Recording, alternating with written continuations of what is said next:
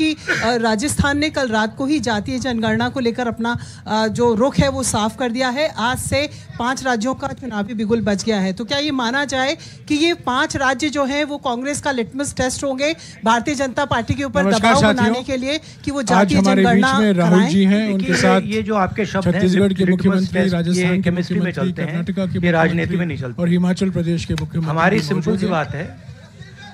आज हम सबने कांग्रेस कार्य समिति की चार घंटे हिंदुस्तान के भविष्य के लिए एक प्रस्ताव भी पारित हुआ कास्ट सेंसस ज़रूरी है। वो प्रस्ताव आपको एक अभी मिल कास्ट जाएगा। सेंसस के बाद अभी आपको इस एक नया समिति की बैठक में जो डेवलपमेंट का चर्चा पैराडाइम है, खुलेगा। जो विचार विमर्श हुआ है और हमने निर्णय ले लिया राहुल कि हम जी ये काम करेंगे। राहुल जी। तो ये मैं आपको आज बता रहा हूँ कि कांग्रेस पार्टी इस काम को पूरा करके ही छोड़ेगी। और याद रखिए जब हम वायदा करते हैं पंडित केदारनाथ शर्मा अस्पताल और चैरिटेबल ट्रस्ट की तरफ़ से अंबाला शहर के हाँ, मोती नगर में मेडिकल एक मिनट एक मिनट सुनील। जैसे जयराम रमेश जी ने कहा चार घंटे हमारी कास्ट सेंसस पे चर्चा हुई देखिए नहीं मैं मैं, मैं इसका जवाब देता हूँ। देखिए एक ये कास्ट और धर्म की बात नहीं है। ये गरीबी की बात है। हिंदुस्तान के ओबीसी हिंदुस्तान के दलित, हिंदुस्तान के आदिवासी और हिंदुस्तान के गरीब लोग, इनके लिए यह काम किया जा रहा है। आज क्या हो रहा है? दो हिंदुस्तान बन रहे हैं। एक अदानी जी वाला और दूसरा सबका। कास्ट सेंसस साफ़ दिखा देगा कि हिंदुस्तान में लोग कितने हैं, कौन हैं और हम वहाँ नहीं रुकेंगे। उसके बाद इकोनॉमिक सर्वे होगा। तो हमें यह भी पता लग जाएगा कि कितने लोग हैं, धन किसके हाथ में है, धन कहाँ है एसेट्स किसके हाथ में है, और फिर जैसे मैंने कहा, जो एक्सरे हमें, और मैं कहता हूँ शायद इसमें मेरी भी गलती है, जो हमने पहले नहीं किया उसको अब हम पूरा करके दिखा देंगे। क्योंकि इस एक्सरे की ज़रूरत है अगर हम नया पैराडाइम नया डेवलपमेंट का पैराडाइम चाहते हैं जहाँ सबको न्याय मिले उसके लिए हमें कासेंसस करना ही होगा। Sir you heard the prime minister in Hyderabad you know give his counter to the caste census and about you know the rights and what will happen to southern states and the various thing How do you view that? And also for the Karnataka Chief Minister, why doesn't he go ahead with the release of the caste census data? we are we are in discussions. Uh, we are very clear what our direction is. Those actions will be taken. Uh, i'll also let uh, Siddaramaiah directly answer your question. So first let me let let me uh, ask him to. You haven't answered that. I'll, I'll come back to you. He's asking about caste census in karnataka Our previous government in Karnataka, that is, the government, our Congress government was there between 2013 and 2013 and 2018. normally normally he doesn't need a mic In 2014 and 15, we have entrusted this caste census and socio-economic survey of all communities to Permanent Backward Class Commission, headed by one Kantraj, then chairman of the commission. By the time our term is over, the report was not ready. When coalition government was there in Karnataka after 2018, the caste census report was ready, but the coalition government's chief minister, Mr. Kumar Swamy, did not receive that report. Now the report is laying with the Permanent Backward Class Commission. I requested now the present chairman, Mr. Jaiprakash Hegde, to submit the report to the government. If he submits the report, he will definitely issue the report. Consensus, caste census, and socio-economic survey of all communities particularly other backward communities एक minute एक minute please अरे एक minute रुक जाइए ना। जवाब दे रहे हैं। जवाब दे रहे हैं। राहुल जी जवाब दे रहे हैं। On the see the prime minister's या the the prime minister is making unconnected statements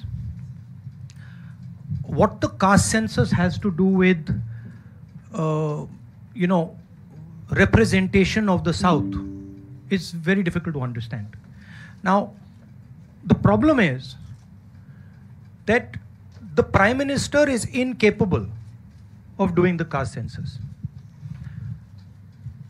I'd like to point out something quite interesting.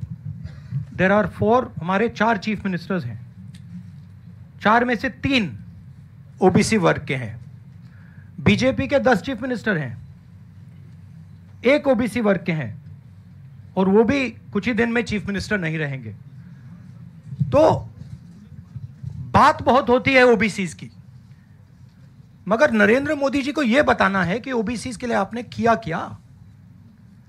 मैंने पार्लियामेंट में उदाहरण दिया कि 90 अफसरों में से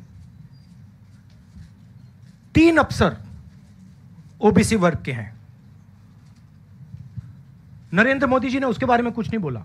उन्होंने यह भी नहीं बोला कि हाँ यह गलत है। उन्होंने बोला एक शब्द नहीं बोला। मतलब उनके लिए यह एक्सेप्टेबल है कि हिंदुस्तान में जिनकी शायद पचास परसेंट आबादी है अप्रोक्सीमेटली उनका सरकार को चलाने में कोई भी हक ना हो। तो ये तो सच्चाई है रियलिटी है। प्राइम मिनिस्टर सीधा कह दें कि हम कास्ट सेंसस का डेटा रिलीज़ कर देंगे। प्राइम मिनिस्टर सीधा कह दें कि अगला सेंसस कास्ट बेसिस पे होगा। वो कह ही नहीं सकते। क्योंकि प्राइम मिनिस्टर सचमुच में ओबीसी वर्ग के लिए काम नहीं करते हैं। प्राइम मिनिस्टर का काम ओबीसी वर्ग को डिस्ट्रैक्ट करने का ओबीसी वर्ग के ध्यान को इधर उधर करने का है। जो सच्चाई है कि ओबीसी वर्ग, दलित वर्ग, आदिवासी वर्ग को कितनी भागीदारी मिल रही है, उससे डिस्ट्रैक्ट करने का पूरा सिस्टम बना रखा है आरएसएस ने और नरेंद्र मोदी जी ने। और नरेंद्र मोदी जी उनके मेन इंस्ट्रूमेंट है। मतलब सेंट्रल औज़ार हैं, उनका यही काम है कि भैया, ओबीसी की भागीदारी ना हो, ध्यान इधर उधर जाता जाए। हाँ संजय।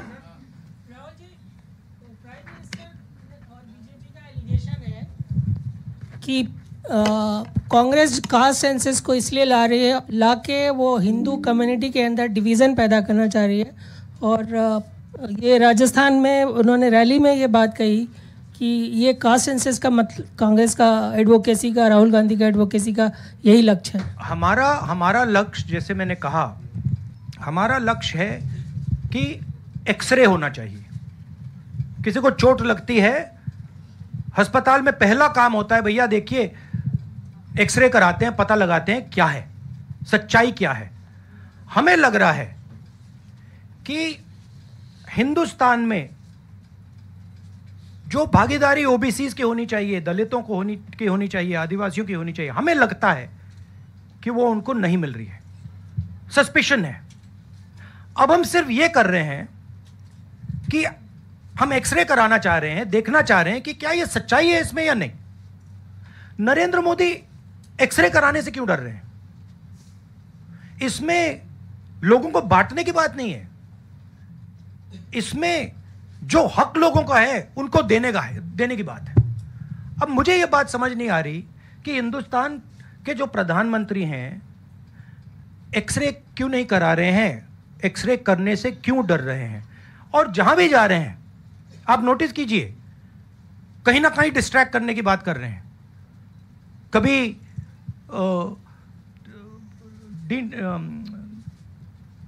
डिलिमिटेशन की बात कर रहे हैं, कभी कुछ और बात कर रहे हैं, कभी साउथ इंडिया की बात कर रहे हैं, मगर एक भाषण में नरेंद्र मोदी जी ने यह नहीं कहा कि देखिए, जो राहुल गांधी ने कहा है, नब्बे अफसर जो हिंदुस्तान को चलाते हैं, उसमें से तीन लोग सिर्फ़ ओबीसी वर्ग के हैं यह सच्चाई है यह सच्चाई बीजेपी ने एक्सेप्ट की है।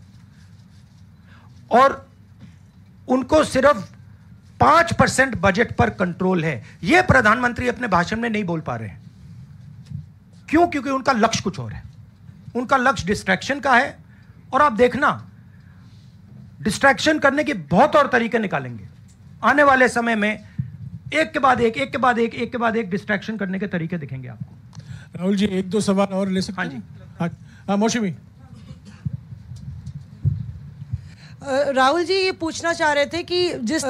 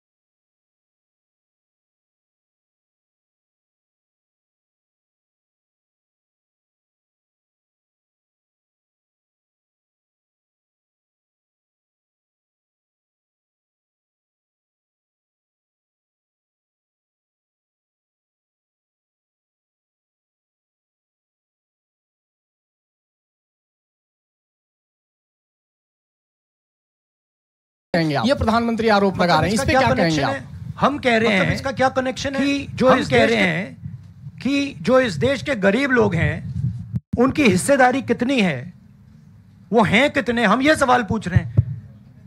कनेक्शन क्या है? ये वही बात है डिस्ट्रैक्ट करने का। कि भैया उधर देखो इधर देखो उधर देखो। जैसे मैंने अभी आपसे पूछा इस कमरे में ओबीसी कितने हैं? सब लोग इधर उधर देख रहे थे। एक भी हाथ नहीं दिखा मुझे। एक है। हाँ। भैया मेन ये है। ये मेन है यहाँ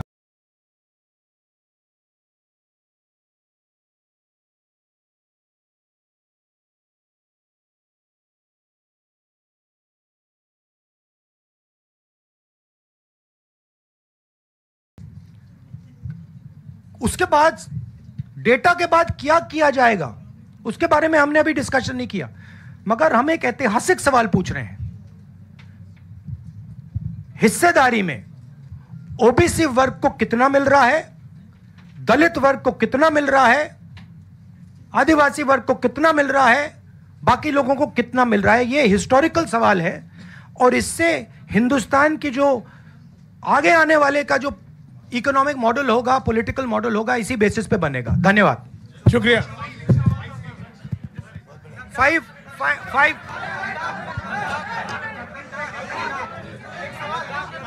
भैया, एक सेकंड एक सेकंड देखिए फाइव जहाँ पे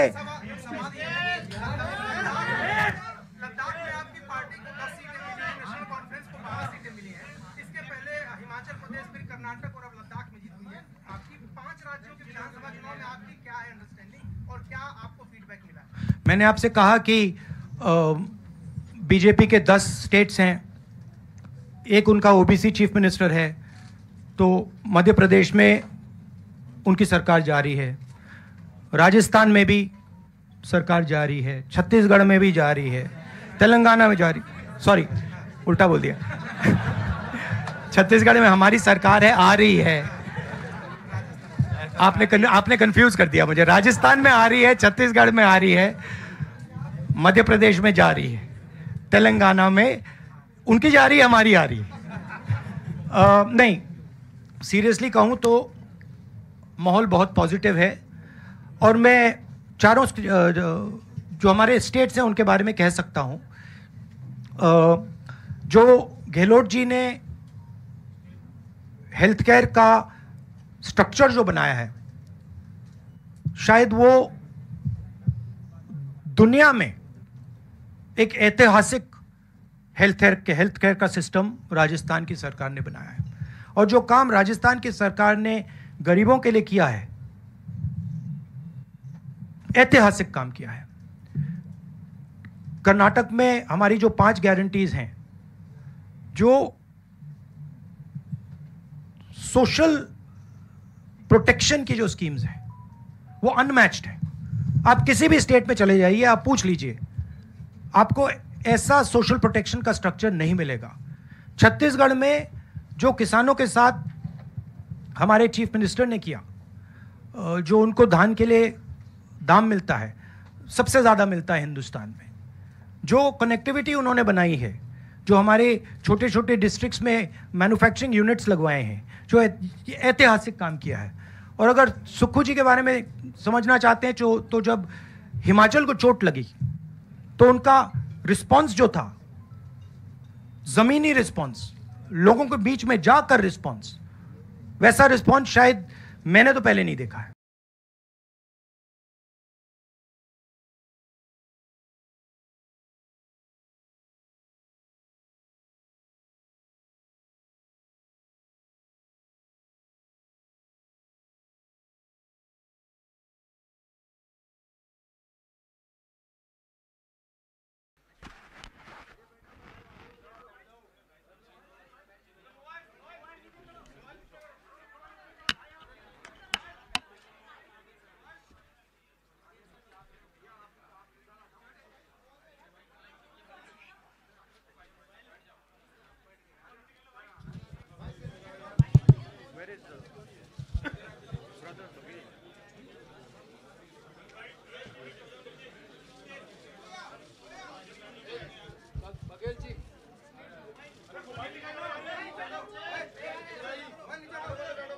कैसे सुखू जी। ठीक है?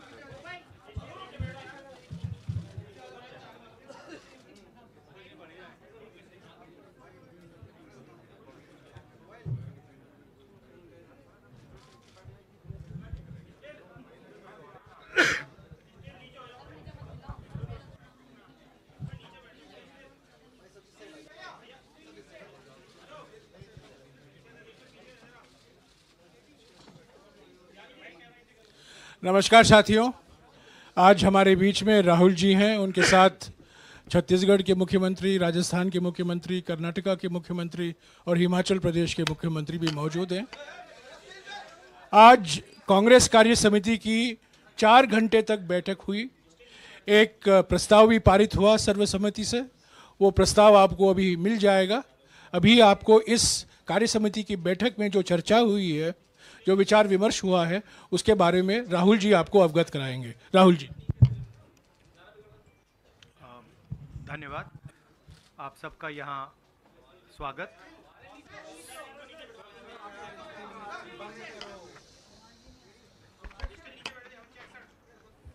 आ रही है? बेटर आप सबका यहाँ स्वागत। जैसे जयराम रमेश जी ने कहा, चार घंटे हमारी कास्ट सेंसस पे चर्चा हुई डिस्कशन हुआ और एक ऐतिहासिक निर्णय कांग्रेस वर्किंग कमेटी ने लिया है और यूनानिमसली लिया है। मगर मतलब कमरे में कोई ऐसा व्यक्ति नहीं था जिसने अपना पूरा सपोर्ट कास्ट सेंसस का जो कॉन्सेप्ट है उसको नहीं दिया। तो काफ़ी खुशी की बात है। आ, हमारे यहाँ चीफ मिनिस्टर्स बैठे हैं। हमारे चीफ मिनिस्टर्स ने भी डिसीज़न लिया है कि वो भी राजस्थान में, कर्नाटक में, छत्तीसगढ़ में हिमाचल में कास्ट सेंसस को आगे बढ़ाएँगे। तो अंग्रेज़ी में बोल दूँ? इंग्लिश में। there's a very big decision taken today by the Congress Working Committee. Um, unanimously, the Working Committee has supported the idea of a caste census uh, in the country. And I think it is a very, very progressive step, a very powerful step for the emancipation of the poor people uh, in our country. Um, we've also uh, our chief ministers are also also believe that it's an important step for them to take. So our states are also considering this and actioning this uh, this step. If you have any questions, हाँ जी सवाल एक minute एक minute एक एक करके संजीव एक minute एक minute एक मिनट एक मिनट प्लीज रुक जाइए हाँ जी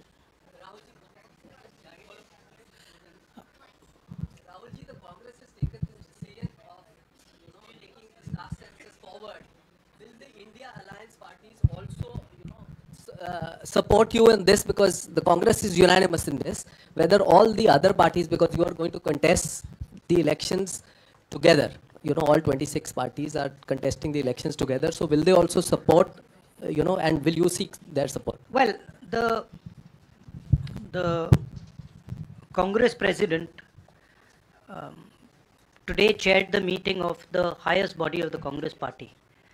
And the entire Congress party has decided that it is going to wholeheartedly not just support the idea of the caste census, but force the BJP to carry out the caste census or then get out of the way so we can carry out the caste census. Now, uh, most of the parties in the India Alliance are unanimous that the caste census should be implemented. There might be a few who might have a slightly different position, and that's fine. We are quite flexible. Uh, we are not a fascist system. We are quite flexible. If somebody has a slightly different opinion, there's no problem. They can have that opinion. But I am confident that the vast majority of the Indian alliance is going to uh, support and push the idea of the caste census. हाँ जी madam. Hindi में हिंदी में बोल देता हूँ। आपका सवाल था कि क्या इंडिया अलायंस भी कास्ट सेंसस को सपोर्ट करेगी? तो मैंने कहा कि देखिए कांग्रेस प्रेसिडेंट ने हमारी जो सबसे बड़ी डिसीज़न मेकिंग बॉडी है उसमें निर्णय लिया है कि हम कास्ट सेंसस को इम्प्लीमेंट करेंगे। सिर्फ़ ये नहीं मगर ये भी डिसीज़न लिया है कि हम बीजेपी को बीजेपी पर दबाव डालेंगे और उनसे करवाएँगे। अगर उन्होंने नहीं किया तो फिर उन्हें परे हो जाना चाहिए, क्योंकि देश कास्ट सेंसस चाहता है। अब जहाँ तक इंडिया अलायंस की बात है, मैं जानता हूँ कि काफ़ी पार्टी इंडिया अलायंस में इस निर्णय का समर्थन करेंगी। एक दो पार्टी हो सकती हैं जो जिनकी राय थोड़ी अलग हो हमारे लिए कोई प्रॉब्लम नहीं है क्योंकि हम कोई फैशिस्ट सिस्टम नहीं है। अ, मगर ज़्यादा से ज़्यादा पार्टियाँ इस डिसीज़न को पूरी तरीके से सपोर्ट करेंगी। हाँ जी मैडम। राहुल जी राहुल जी मैं पूनम। एक मिनट मैडम मैडम बोलिए। अच्छा अगर आपका सवाल सुनिए सुनिए अगर आपका सवाल गहलोत जी से है या बघेल जी से या किसी हमारे चीफ मिनिस्टर से उनका नाम पहले ले लीजिए प्लीज़। राहुल जी मैं पूनम हूँ अमर उजाला से इधर। मैं ये आपसे जानना चाहती हूँ कि राजस्थान ने कल रात को ही जातीय जनगणना को लेकर अपना जो रुख है वो साफ़ कर दिया है। आज से पाँच राज्यों का चुनावी बिगुल बच गया है। तो क्या ये माना जाए कि ये पाँच राज्य जो हैं वो कांग्रेस का लिटमस टेस्ट होंगे भारतीय जनता पार्टी के ऊपर दबाव बनाने के लिए कि वो जातीय जनगणना कराएँ? देखिए, ये ये जो आपके शब्द हैं लिटमस टेस्ट, ये केमिस्ट्री में चलते हैं, ये राजनीति में नहीं चलते हैं। हमारी सिंपल सी बात है हम सबने निर्णय ले लिया है कि हिंदुस्तान के भविष्य के लिए कास्ट सेंसस ज़रूरी है। एक कास्ट सेंसस के बाद एक नया डेवलपमेंट का पैराडाइम खुलेगा। और हमने निर्णय ले लिया कि हम ये काम करेंगे। तो ये मैं आपको आज बता रहा हूँ कि कांग्रेस पार्टी इस काम को पूरा करके ही छोड़ेगी। और याद रखिए जब हम वायदा करते हैं हम उस वायदे को तोड़ते नहीं हैं। हाँ सुनील। हाँ सुनील। एक मिनट एक मिनट सुनील।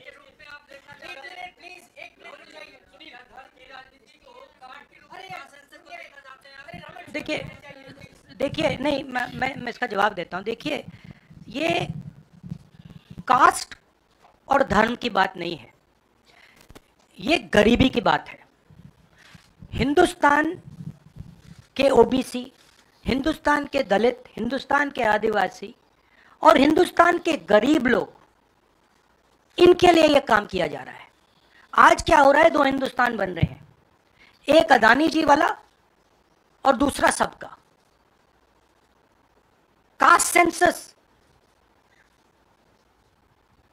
साफ़ दिखा देगा कि हिंदुस्तान में लोग कितने हैं, कौन है और हम वहाँ नहीं रुकेंगे। उसके बाद इकोनॉमिक सर्वे होगा।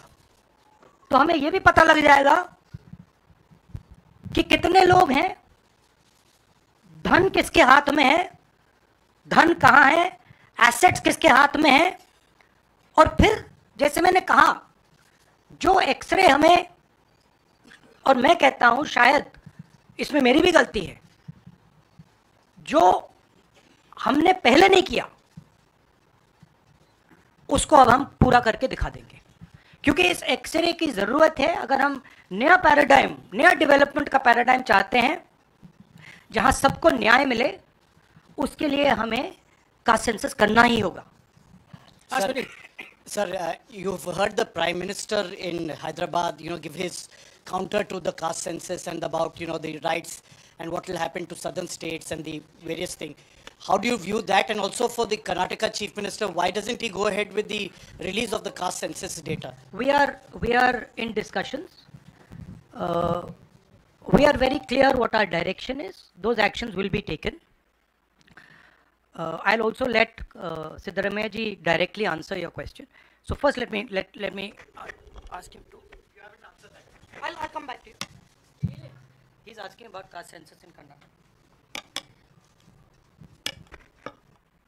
our previous government in Karnataka, that is, the government, our Congress government was there between 2013 and 2013 and 2018. normally normally he doesn't need a mic In 2014 and 15, we have entrusted this caste census and socio-economic survey of all communities to Permanent Backward Class Commission, headed by one Kantraj, then chairman of the commission. By the time our term is over, report was not ready. When coalition government was there in Karnataka after 2018, the caste census report was ready, but the coalition government's chief minister, Mr. Kumar Swamy, did not receive that report. Now the report is lying with the Permanent Backward Class Commission. I requested now the present chairman, Mr. Jayaprakash Hegde, to submit the report to the government. If he submits the report, he will definitely issue the report.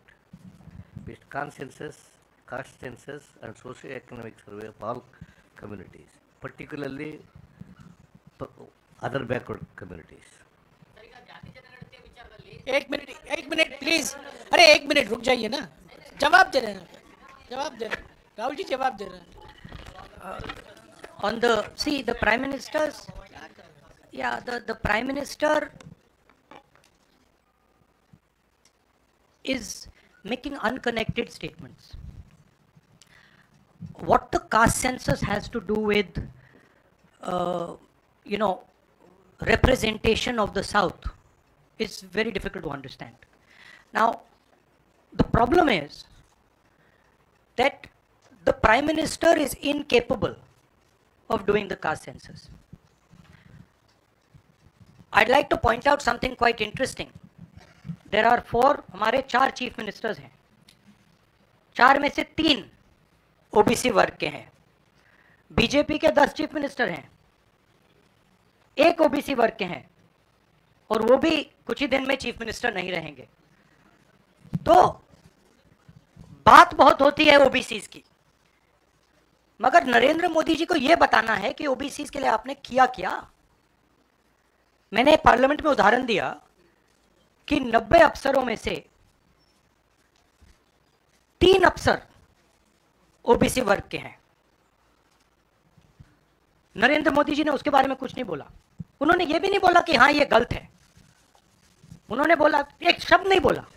मतलब उनके लिए यह acceptable है कि हिंदुस्तान में जिनकी शायद पचास परसेंट आबादी है अप्रोक्सीमेटली उनका सरकार को चलाने में कोई भी हक ना हो। तो ये तो सच्चाई है रियलिटी है। प्राइम मिनिस्टर सीधा कह दें कि हम कास्ट सेंसस का डेटा रिलीज़ कर देंगे। प्राइम मिनिस्टर सीधा कह दें कि अगला सेंसस कास्ट बेसिस पे होगा। वो कह ही नहीं सकते। क्योंकि प्राइम मिनिस्टर सचमुच में ओबीसी वर्ग के लिए काम नहीं करते हैं। प्राइम मिनिस्टर का काम ओबीसी वर्ग को डिस्ट्रैक्ट करने का ओबीसी वर्ग के ध्यान को इधर उधर करने का है। जो सच्चाई है कि ओबीसी वर्ग, दलित वर्ग, आदिवासी वर्ग को कितनी भागीदारी मिल रही है, उससे डिस्ट्रैक्ट करने का पूरा सिस्टम बना रखा है आरएसएस ने और नरेंद्र मोदी जी ने। और नरेंद्र मोदी जी उनके मेन इंस्ट्रूमेंट है। मतलब सेंट्रल औज़ार हैं। उनका यही काम है कि भैया ओबीसी की भागीदारी ना हो, ध्यान इधर उधर जाता जाए। हाँ संजय।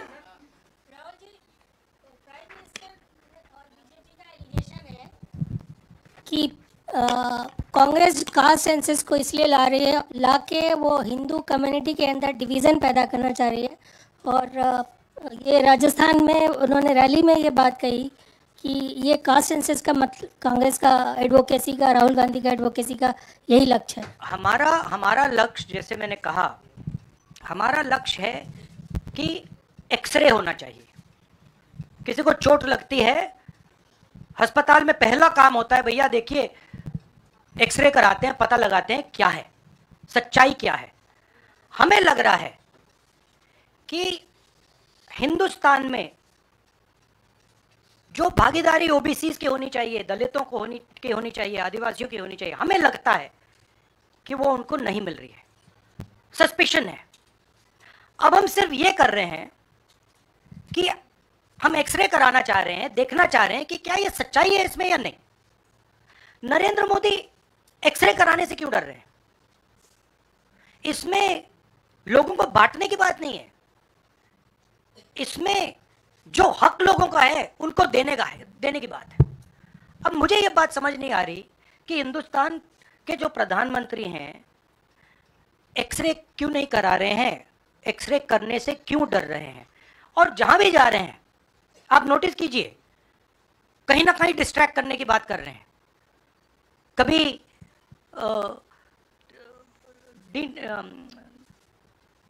डिलिमिटेशन की बात कर रहे हैं। कभी कुछ और बात कर रहे हैं।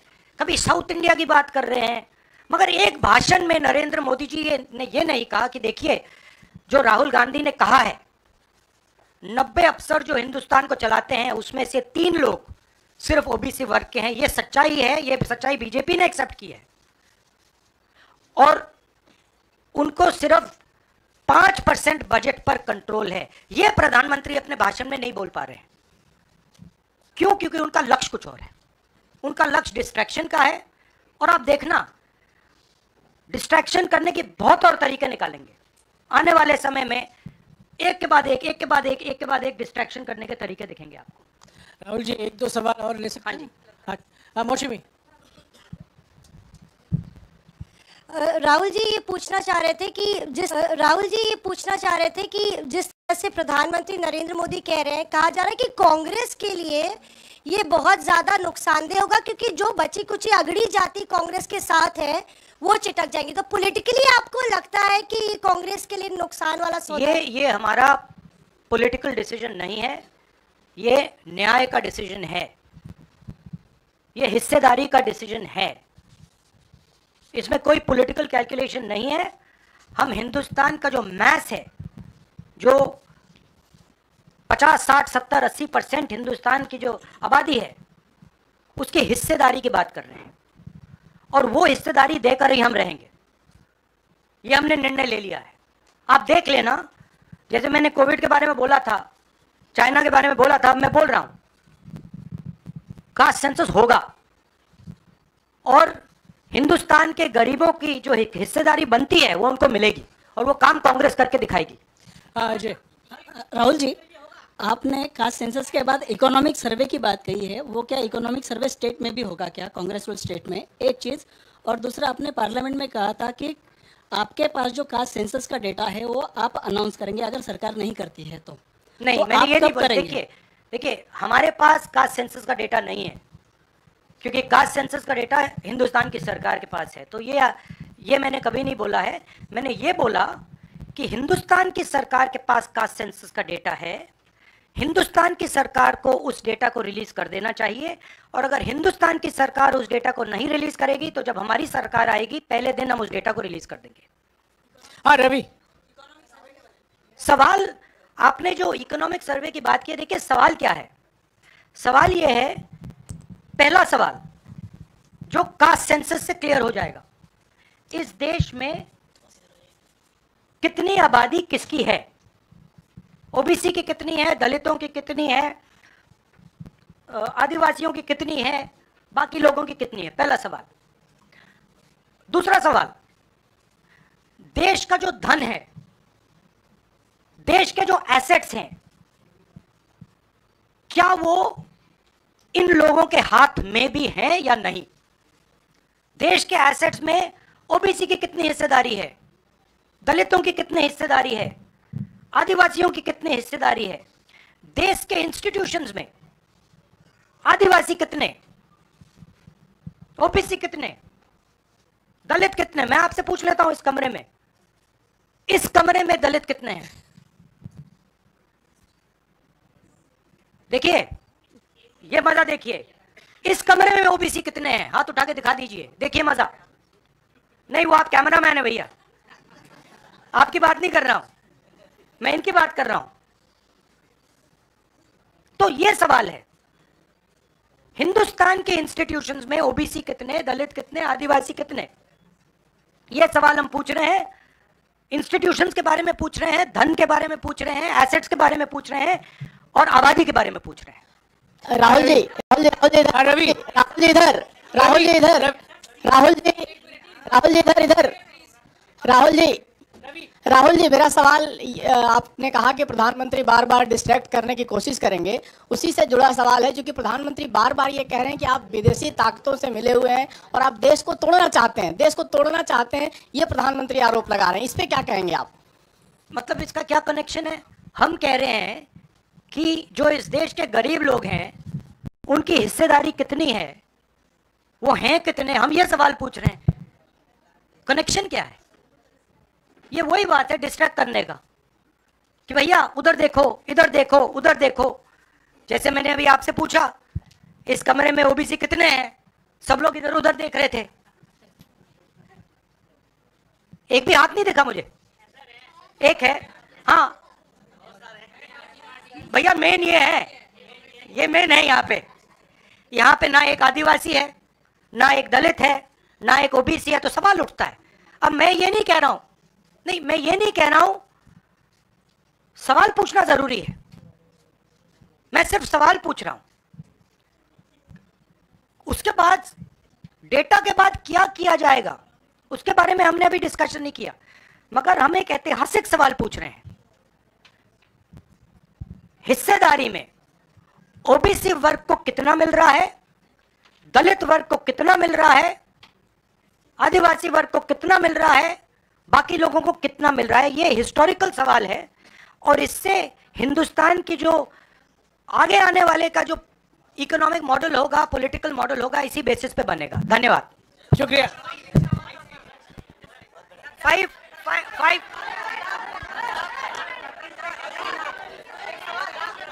भैया, एक सेकंड एक सेकंड देखिए फाइव जहाँ पे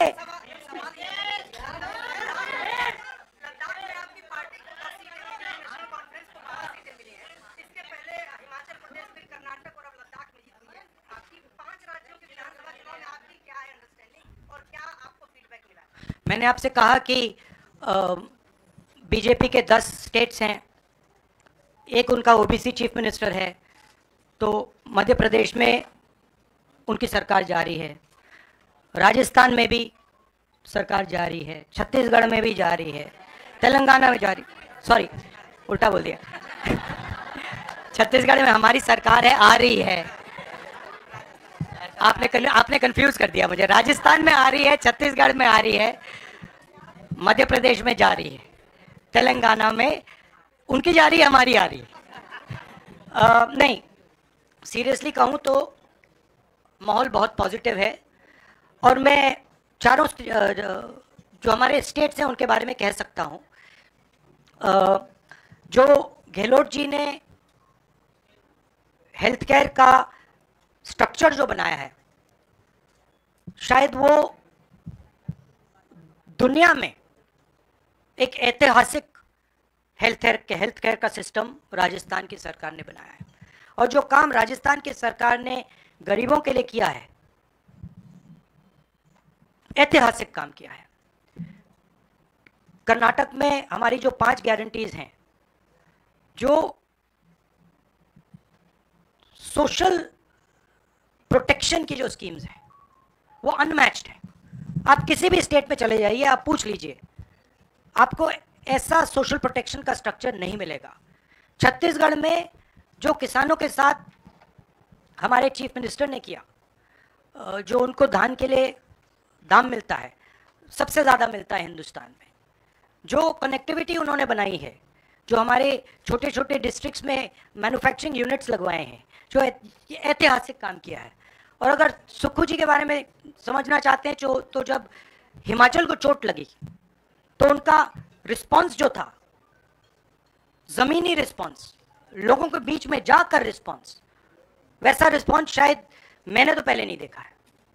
तो हमारी जो चार सरकारें हैं अच्छा काम कर रही हैं